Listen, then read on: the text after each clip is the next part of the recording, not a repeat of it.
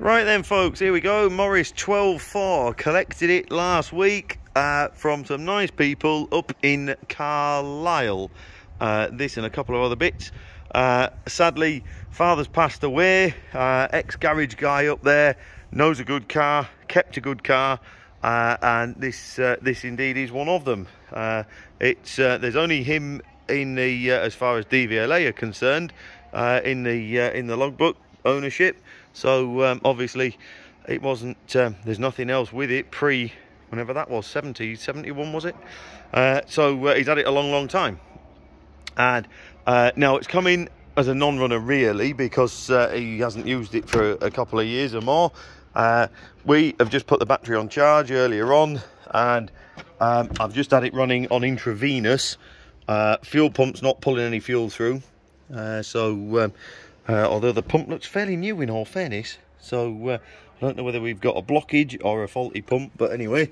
Uh, so I had it running just for a short while uh, and it started up. Sounds nice and sweet, really. 45, 50 psi oil pressure, I think it was, or 50 pound oil pressure. Uh, so um, and sounded lovely inside's great just as you'd want to find it bit of patina look odds and sods um, original old old old carpet look um, and I'm not floor mat there. I'm oh yeah, got my arm. Uh, not not the actual mat, but around the seat bottoms and things like that. Door cards look lovely. Just a very very well cared for old old Morris.